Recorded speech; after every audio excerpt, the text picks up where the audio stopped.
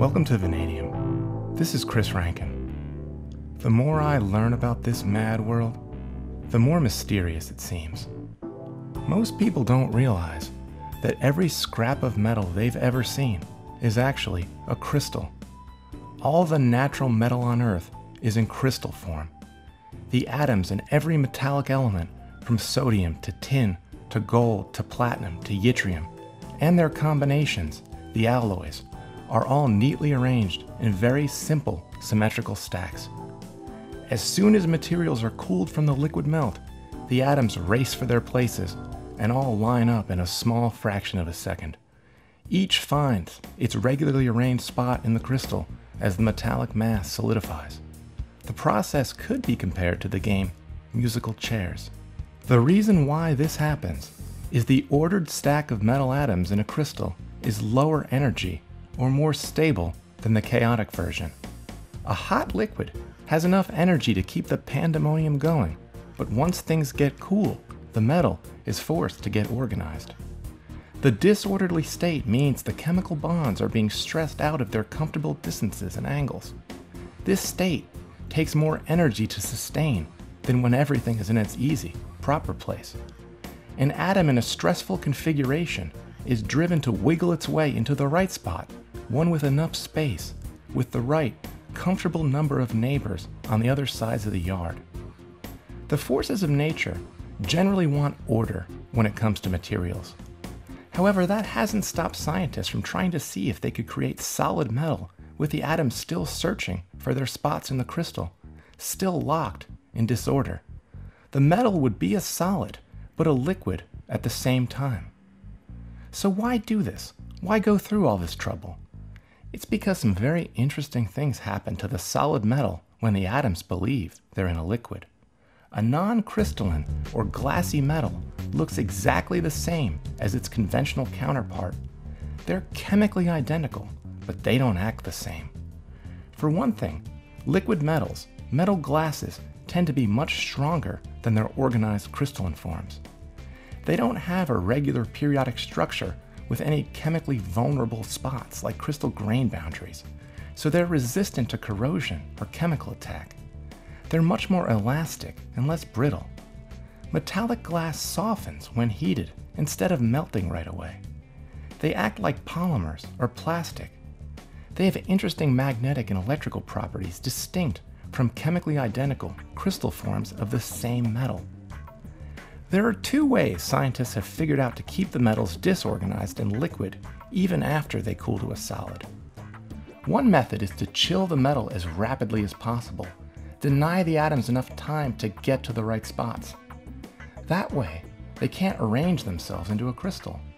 By thermally quenching or rapidly cooling the material, the atoms get stuck in their chaotic positions. They're frozen in the middle of their run from the liquid to the crystal state.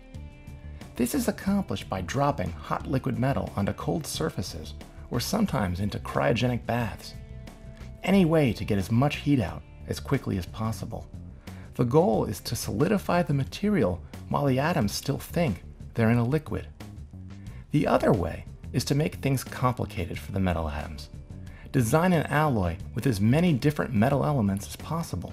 Make it confusing for the atoms to know where the right spots are it helps to use widely different sized atoms with different bonding characteristics as well. A medley, a mess, a Frankenstein monster of metal elements can frustrate crystal formation and keep the structure liquid or glassy even after it's cooled.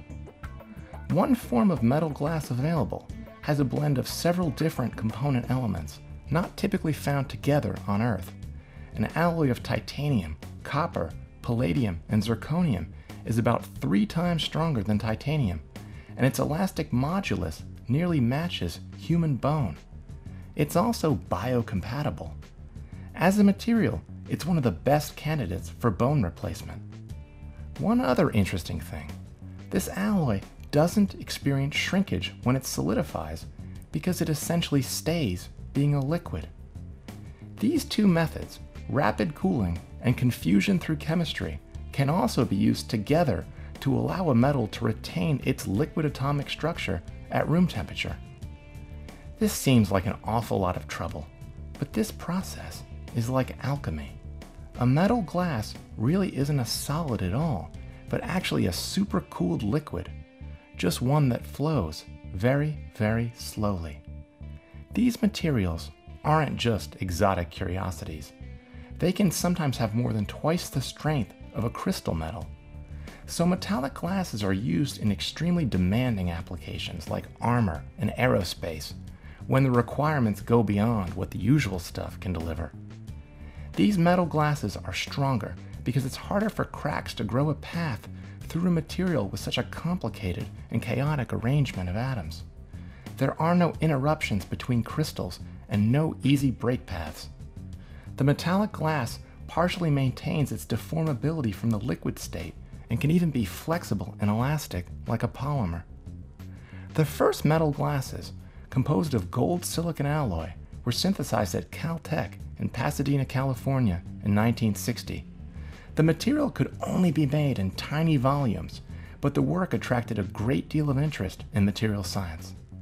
In 1992, the first commercial amorphous alloy, Vitreloy 1, composed of zirconium, titanium, copper, nickel, and beryllium, was also developed at Caltech as part of the Department of Energy and NASA's joint research effort to develop new aerospace materials. By 2000, researchers had come up with multi component alloys based on lanthanum, magnesium, zirconium, palladium, iron, copper, and titanium, with critical cooling rates comparable to oxide glasses this meant that metallic glasses could be made in the same way as traditional silica based window glass. By 2004, bulk amorphous steel was successfully produced by two groups one at Oak Ridge National Lab, who refers to their product as glassy steel, and the other at University of Virginia, calling theirs Darva Glass 101. This iron based material is actually non magnetic at room temperature and significantly stronger than conventional steel. It's not just chemistry. A lump of iron is more than just a lump of iron. So much of the way it behaves comes down to subtleties of its structure, its previous processing, its past. Materials have a memory. Thank you very much. This was Chris Rankin with Vanadium.